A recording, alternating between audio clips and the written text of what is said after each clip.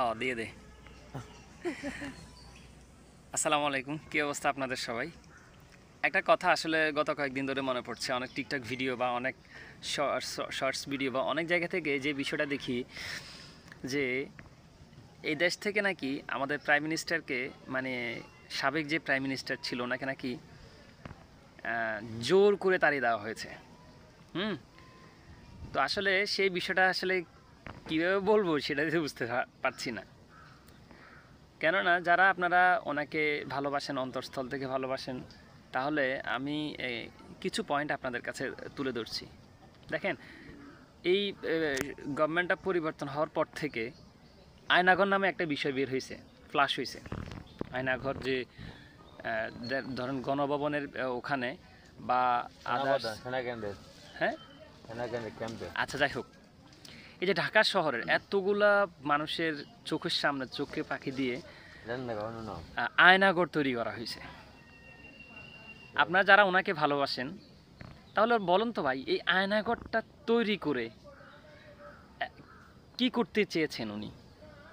এতগুলা মানুষকে গুম করে ওই আয়নাঘরে রেখে দিতেন, ওখানে মেরে ফেলতেন। এই যে এই বিষয়গুলা, এই বিষয়গুলো জানার পরও আপনারা কীভাবে ভালোবাসতে চাচ্ছেন ওনাকে? কীভাবে ওনাকে সাপোর্ট করছেন?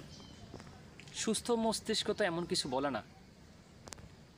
ঠিক আছে? এই যে বিডিআর বিদ্রোহ ঘটে গেল, শাপলা চত্বরের ঘটনাগুলো। একটা সময় ছিল, যে সময় রাজনীতিটা হোঁর মধ্যে চলতো। হঁ হঁ হঁ হ্যাঁ হঁ কলে হ।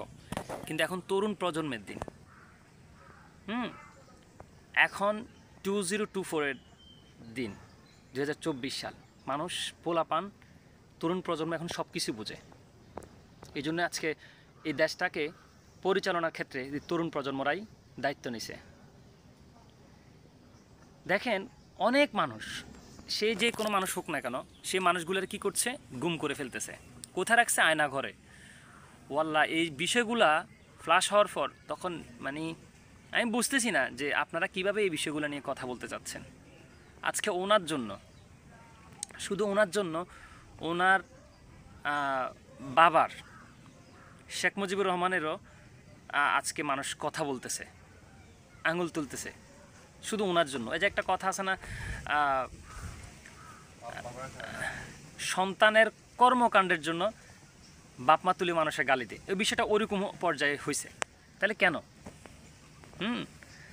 আপনি যদি ক্ষমতা লিপসুবান নাও হতেন, তাহলে আপনাকে কেন পঁয়তাল্লিশ মিনিট সময় দেওয়া হয়েছে যখন দেখতেছেন দেশের পরিস্থিতি এই প্রজন্ম, এই পরিস্থিতির পর্যায়ে চলে গেছে হ্যাঁ?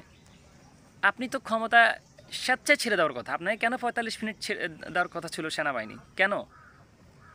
আর আপনি তো একজন এডুকেশন পার্সন তাহলে ওই ক্ষেত্রে ছাত্ররা তো সর্বপ্রথম আপনার থেকে যে দাবিটা চাইছিল সিম্পল একটা দাবি।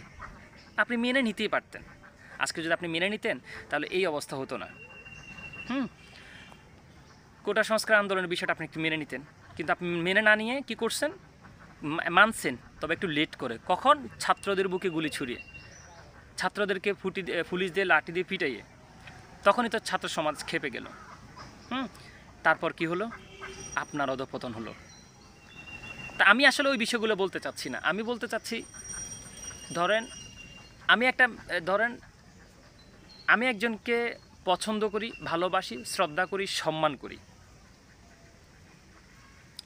তার কিছু চলাফেরা কারণ কলা কৌশলতা এখন আপনারা জানা যাকে পছন্দ করেন যাকে সম্মান করেন, শ্রদ্ধা করেন, এই যে এই বিষয়গুলো ফ্লাশ হওয়ার পর, এই বিষয়গুলো তার মিথ্যা না। সব কিছু বাদ দেন, এই যে আয়নাগরের বিষয়গুলো, এগুলো তার মিথ্যা না।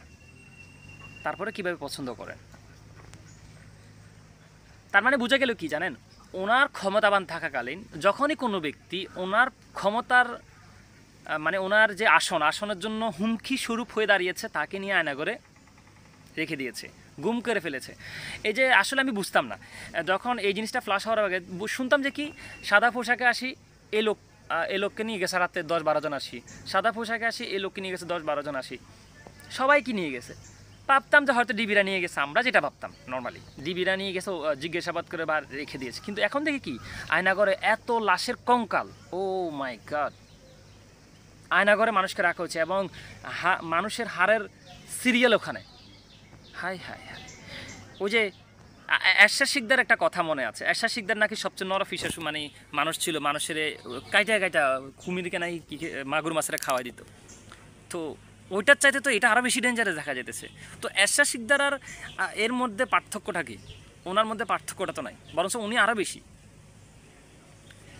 যাই হোক, আপনারা যারা ওনাকে বেশি লাভ করেন, আমি ওনার এই বিষয়গুলো একটু তুলে ধরলাম যে, ভালো যে ওনাকে পছন্দ করেন, ওনাকে যে ভালোবাসেন কোন মানুষটাকে ভালোবাসেন দেখেন। আপনি ধরেন না, আপনি সব কিছু বাদ দেন, একদম একদম সব কিছু বাদ দেন আয়নাগরের বিষয়টা দেখেন। একজন সাধারণ দেশপ্রেমিক কখনো এমন হতে পারে না। এটা কখনো না। তো যাই হোক, তরুণ প্রজন্ম এখন দেশটার হাল ধরেছে। আশা করছি আমাদের দেশটা অনেক দূরে এগিয়ে যাবে। আজকে আমাদের দেশটা মানে ধ্বংসের পথে। ধ্বংসের মানে মুখে রেখে তারপর দেশটাকে আজকে বর্তমান পরিস্থিতিতে। আশা করছি বর্তমানে যারা আছে, ওনারা ওনাদের মতো হবেন না। আগের যারা ছিল তাদের মতো হবেন না। আশা করছি এই তরুণ প্রজন্ম দেশটাকে আরও চমৎকার সুন্দর জায়গায় নিয়ে যাবেন। ভালো থাকবেন সবাই। আল্লাহ হাফেজ।